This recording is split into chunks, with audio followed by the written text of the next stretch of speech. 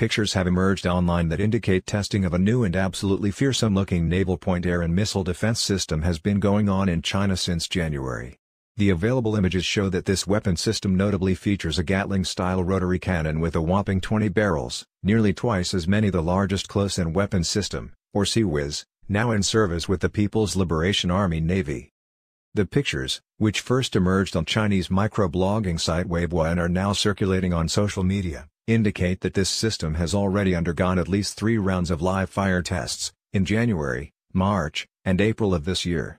It is unclear what entities might be involved in the design of this weapon and whether it is expected to lead to an operational system or is simply a proof of concept.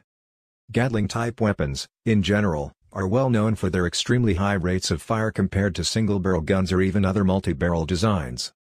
China already has two domestic CIWS designs that use Gatling-style weapons, the Type 730, and its associated variants, and the Type 1130.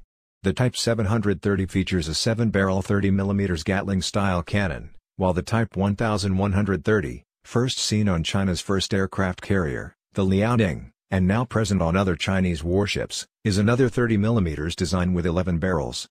Compared especially to single-barrel designs, Gatling-style weapons do have the inherent benefit of being able to distribute heat buildup and other wear and tear among their multiple barrels.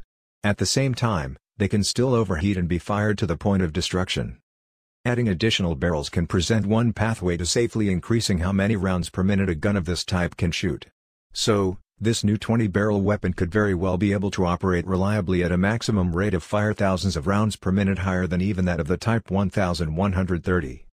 A CIWS with a 20-barrel Gatling-type cannon with a very high rate of fire would, by definition, be able to put out more rounds, faster.